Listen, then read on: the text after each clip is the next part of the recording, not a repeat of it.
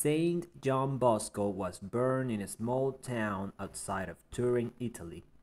He was from a poor background as his mother struggled to earn enough to feed her three boys since their father died at young age. Saint John prayed a lot and often dreamed that God spoke to him. When he was nine years old, he had a dream that he was breaking up a fight between two boys. When separating them didn't work, he used his fist.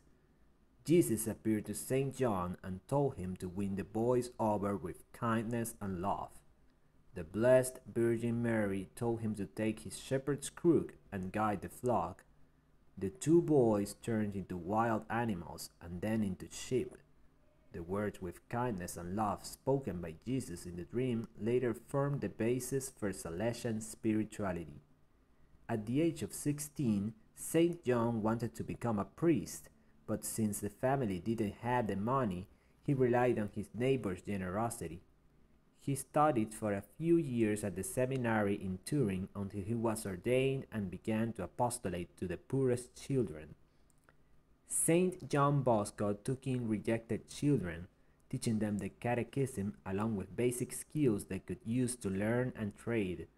The idea behind the Salesian home was to bring young people closer to God through kind words and an example of cheerfulness.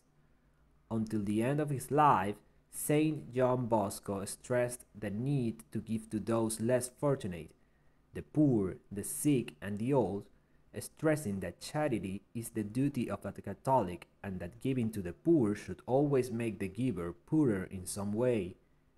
100 years after his death, Pope John Paul II declared Saint John Bosco the father and teacher of youth.